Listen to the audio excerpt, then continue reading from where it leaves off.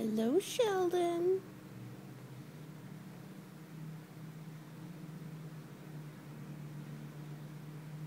Sheldon had a successful molt.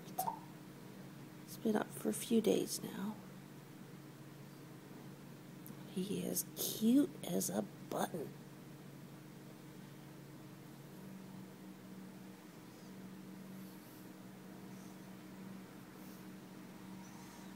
Finnegan's already vacated the bed. He's too afraid.